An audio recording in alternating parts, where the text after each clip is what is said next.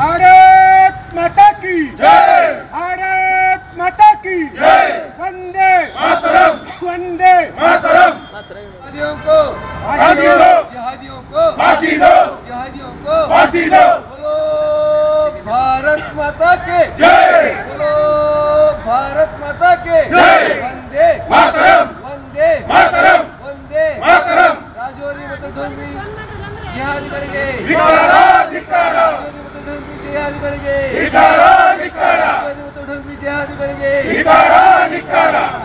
भारत देश और इडी विश्व में पूरे विश्व में ये जिहादी मानसिकता और जिहादी मानसिकता के संगठना और जिहादी मानसिकता रहने वाले युवा और उग्रवाद जो चल रहा है ये एक बहुत बड़ा गैंग्रीन बन के उभर रहा है।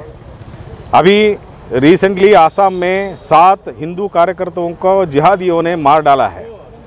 ये जो मार डाला है इसके लिए कठिन से कठिन क्रम सरकार लेना चाहिए और ये जो मारने का काम हो रहा है इनको मरण दंडन ही देना चाहिए। ऐसे करके हम राष्ट्रपतियों को जिलाधिकारी के थ्रू हम आ, ये मनवी दे रहे हैं।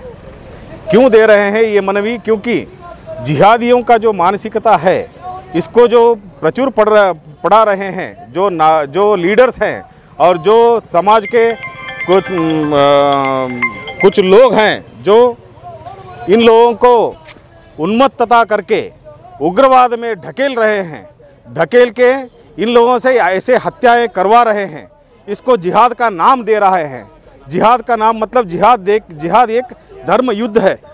और धर्म युद्ध में मरने के बाद उनको जन्नत की प्राप्ति हो जाएगी, ऐसे कहकर ये युवाओं को ऐसे कामों में ढकेल रहे हैं। ऐसे काम करने से कोई भी विश्व, कोई भी विश्व में कोई भी राष्ट्र आगे नहीं आएगा और युवाओं का खात्मा हो जाएगा।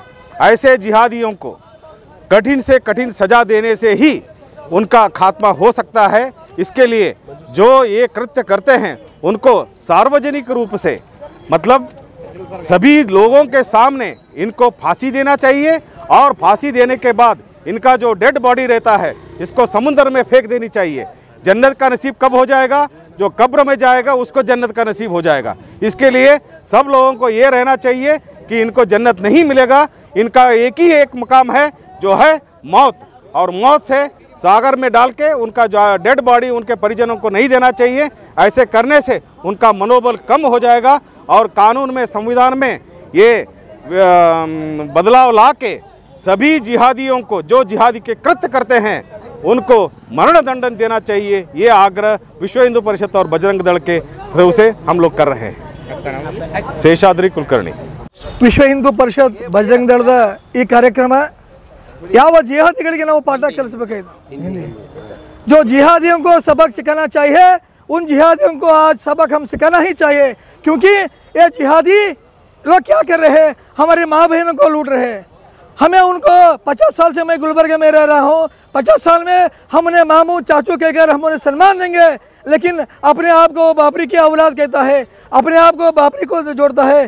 तो हमें मजबूरन होकर हमें महाराणा प्रताप या महाराजा शिवाजी बनना चाहिए।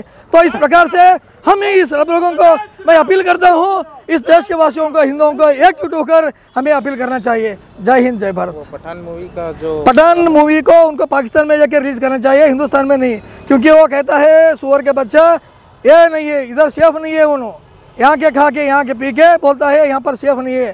तो उनको जेफ यहाँ पे है, पाकिस्तान में, वो जाके और रिलीज़ करना चाहिए उसको। यहाँ पे सब लोगों को इतिहास मालूम है, हमारे भारतवर्ष में साठ हज़ार मंदिर जो मस्जिद बन चुके हैं।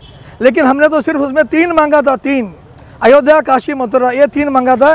एक से तो हमने कानून ने लिया है। अभी मथुरा और काशी बाकी है, वो दोनों भी हम लेकर रहेंगे। अगर ये जिहादी लोग सबक नहीं सिखाए तो जो साठ हज़ार मंदिर मस्जिद बने हुए हैं हर एरिया में वो सब हम वापस मंदिर में कन्वर्ट कर देंगे हम। आपका नाम बोलिए। सुधाकर।